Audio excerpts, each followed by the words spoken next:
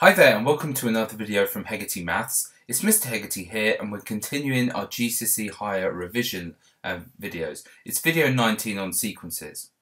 As I've said before, um, these videos are for quick revision on um, the main areas that would help you get a C and B in the Higher Edexcel paper.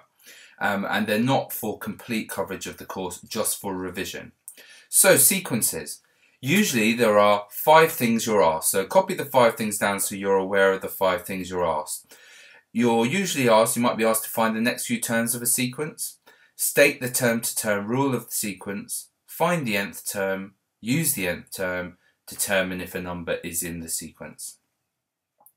So I'm going to explain what these mean by way of three examples. So let's have a look at our first example here. Right, so Example 1, we've got a sequence 5, 8, 11, 13. It's very clear, most students can see that the sequence is going up in threes each time. Okay, it's increasing by 3 each time.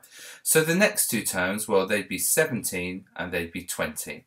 So if we were asked the next two terms, it's 17 and 20. You may be asked why. And this is what the term-to-term -term rule means. The reason why is you add three more each time. So add three more each time. Now the nth term, the nth term is a fairly straightforward thing to do once you're familiar with the technique. Firstly, what you look at um, the sequence given and it's going up in threes. What other sequence, or in particular what times table goes up in threes? Well, the three times table. So above it, always above it, write the three times table. 3, 6, 9, 12, 15 and 18. Now the nth term, what does that mean? The nth term is, say if I asked you the 10th term of the 3 times tables, you'd say it's 30, 3 times uh, 10. The nth term is just some number I don't tell you. So the nth term is 3n. Okay, just like if I asked you the 12th term, the 12th number in the times table you do 3 times 12. Here's the nth term. Now this sequence here, you can see how do you get from the 3 times tables to this sequence you're given in the question? Well, you add 2 each time. So its nth term must be 3n, but add 2. So the nth term is 3n plus 2. Now, what's the 10th term or the 20th term? Well, obviously you can keep counting, but you can use the nth term. The nth term we have found out is 3n add 2. 3 multiplied by n add 2. So the 10th term must be 3 multiplied by 10 add 2. And 3 multiplied by 10 is 30, add 2 would be 32. And the 20th term similarly would be 3 multiplied by n, in this case n is 20, so 3 multiplied by 20 and add 2. So 3 multiplied by 20 is 60, add 2 would be 62. That saves us counting up every time. Okay, is 100 a term in the sequence? Well, there are various strategies uh, to do this question. Um, what you can do is you could keep counting up. So from uh, 20, you could keep going 20, 22, 24, 26, uh, sorry, this going up in threes even. So it would be um, 23, 26, 29, and you could keep count up, counting up until you see if 100 is in there. Now, that's your fallback option if you're stuck, but a slightly better method is um, to look at this and you can say, right, is 100 in the sequence? Well, you can make your nth term 3n add 2 equal to 100 and see if you can find some n to make that true. Well, you could actually solve this as an equation. So there are, again, there are two routes to deal with this. You could solve that as an equation, subtract 2 off both sides and divide by 3. So you would have that 3n must be equal to 98 and n would therefore be 98 divided by 3, which is not a whole number. So therefore 100 is not in sequence because otherwise you'd have found an n a whole number. Alternatively, you could think to yourself, if you thought, well, I know if I tried n is 32, if I tried n is 32, I would get um, the term uh, 32 multiplied by 3 is 96 add 2, I'd get 98. And if I tried n is equal to 33, I'd get 101. Clearly, 100 is therefore not in the sequence. Okay, let's try another example. Find the next two terms and let's do the normal. So this time it's going up in 5, so the next one would be 21, 26. The term to term rule is add 5 each time. The nth term, well, what goes up in uh, in fives, the 5 times tables, so write that above it. 5, 10, 15, 20, 25 and 30. The nth term would be 5n. The 5 times tables multiplied by a number, 5n. So this one is always 4 less. The sequence we're dealing with is 4s, 4 less, so it's 5n subtract 4. The nth term is 5n subtract 4. What's the 10th term? Well, the nth is 5n subtract 4, so the 10th would be 5 times 10 subtract 4, which is equal to 46. And what would the 20th be? The 20th would be 5 multiplied by 20, subtract 4, which is 96. Okay? Now, is 65 a, a term in the sequence? Now, with this one, there are, again, all the ways to do it. You could keep counting up. So from 26, you could count up to um, 31, you could count up to 36, you could count to 41, you could count to 46, you could count to 51, you could count to 56, you could count to 61 and you could count to 66. And therefore you'd say, therefore, not in sequence as 61 and 66 are. Okay, 65 didn't end up coming up. So that's one way of doing it. Okay, like that. There's another way of doing it.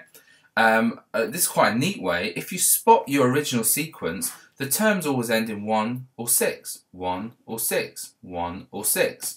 So the terms always end in 1 or 6. So 65 can't be, as it ends in 5. Look out for that one because that's a really handy one to have in your armory. It saves you a lot of work. The third one is to use algebra. What you could do is you could let 5n subtract 4 be equal to 65 and see if you can find an n, a whole number, to make that true. So 5n would be equal to 69 and 69 is not divisible by 5. So n would be 69 over 5, therefore um, 65 not in sequence as it's not a whole number. So they're the three ways to do it. It's nice if you can spot this new way I showed you there. Okay, the last one, example 3, find the next two terms. Here we're going down in 2, so the next one would be 2 and the next one would be 0. The term to term rule is subtract 2 each time. The nth term, well what goes down in 2? Well the negative 2 times tables. So negative 2, um, negative 4, negative 6, negative 8, uh, negative 10, negative 12, etc. Um, so what's the nth term going to be? Well, the nth term is negative 2n. And each time, to get from negative 2 to 10, I add 12. To get from negative 4 to 8, I add 12. So it would be negative 2n plus 12. But a mathematician would write the negative after and write 12 subtract 2n. So the nth term is 12 subtract 2n. What's the 10th term? Well, if the nth is 12 subtract 2n, the 10th must be 12 subtract 2 times 10. And 2 times 10 is 20, so 12 subtract 20 is negative 8. And the 20th term would be 12 subtract 2 times 20. 2 times 20 is 40. Um, 12 subtract 40 would be equal to negative 28. Okay, is negative 15 a term in the sequence? The easiest way here, look at this, all these numbers are even. So each term is even or zero. So negative 15 can't be in sequence. That's probably the easiest way to answer that question. Obviously, you could have kept going down as well with the with the numbers. So you could have said after zero is negative two, negative four, negative six, negative eight, negative ten, negative twelve, negative fourteen, negative sixteen, and therefore stated not in as well. I'd rather those than the nth term there. Okay, time to do some exam questions. You've taken the notes, pause the video for each question, try it, and then um, I'm going to go through the answers. So here's the first one. Pause, I'll go through in five seconds.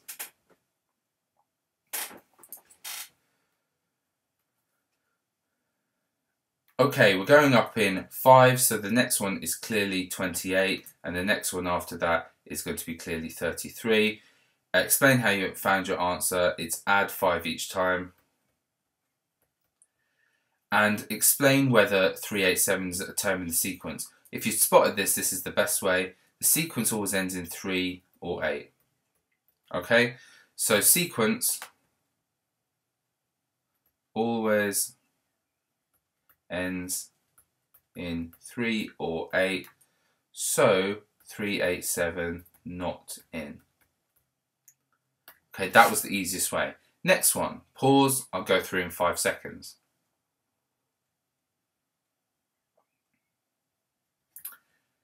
Okay, going through now, write an expression for the nth term. They're going up in fours, so the uh, the times table that goes up in fours is the four times table. So above it, write 4, 8, 12, 16, 20. The nth term of the 4 times tables is 4n. This one is 1 less, so it's 4n subtract 1. The nth term must be 4n subtract 1. Now, Adele says 318 uh, 19 is a term in the sequence. Is Adele correct? Well, the sequence can end in 9, so you can't use that little trick that you used before. So that one's gone out. You can't really keep counting up either, so we have to use algebra here.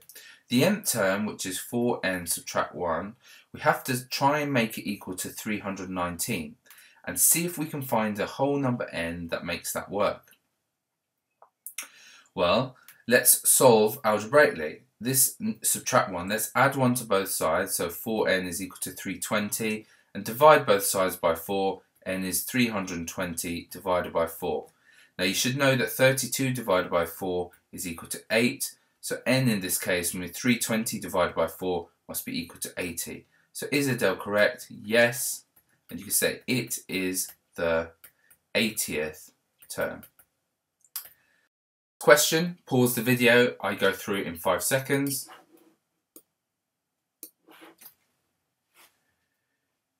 Okay, I'm going to go through this now. This sequence here is going up in fours each time. So write the four times table above it. 4, 8, 12, uh, 16 and 20. How do you get from the top sequence to the bottom? You subtract 5. So the nth term of the 4 times table is 4n. The nth term of our sequence must be 4n subtract 5. 4n subtract 5. Now, this is a slight trick here. This is slightly harder. In another arithmetic sequence, the nth term is as follows. John says there is a number that is in both sequences. Explain why John is wrong. Now, if I was you, rather than try and work this out algebraically, what I would do is just list out the first few terms of this sequence. Okay, so the 8n subtract 16 sequence, put n is 1 in. 8 multiplied by 1 is 8, 8 take away 16 is negative 8. Put 2 in. 8 multiplied by 2 is 16, 16 take away 16 is equal to 0, the second term. Put 3 in.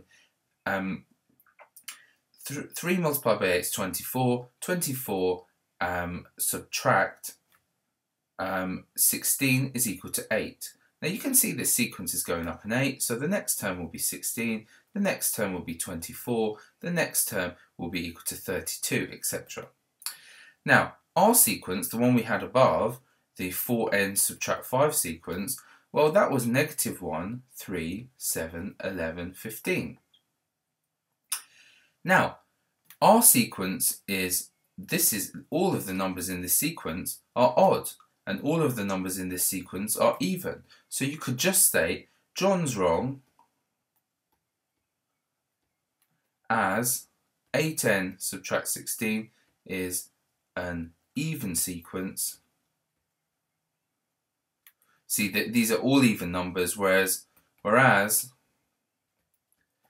4n subtract 5 is an odd sequence. it has all odd numbers. That's probably the easiest way to deal with that question. Another way is to do algebra. Try and make the two sequ sequences equal to each other. So make 8n subtract 16 equal to 4n subtract 5 and see if there's an n, a whole number, that works with it with this. So subtract 4 off both sides, I get 4n, subtract 16 is negative 5. Add the 16 onto both sides, so 4n would be 21, and therefore n must be 21 divided by 4, which is not a whole number. So therefore there's no n that works, therefore not in the sequence. There's the other explanation. Last question, pause the video, I'll go through in 5 seconds. Now, this one's slightly trickier. It's got a squared in it, so you just have to think back to BODMAS or BIDMAS. That says you do your indices before you do your multiplying, okay?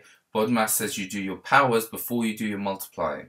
So the fourth term of this sequence would be 2 multiplied by 4 squared. Now, do the 4 squared first, which is 16, and double it, which would be 32. What some students do here is they do 2 multiplied by 4 and then they square it. So they do 8 squared is 64. That's not right. We're supposed to, n, whatever n is, we're supposed to square it first and then double it. Okay, so that's very important. Now, is uh, 400 a term in the sequence? Well, can you find a, an n, a whole number, such that 2n squared is equal to 400? Now, some people might um, what you can do is divide by 2 here and say n squared would therefore have to be 200 and you can't find a number that squares to 200 so n is the square root of 200 it's not whole. That's not a whole number. So 400 is not in the sequence.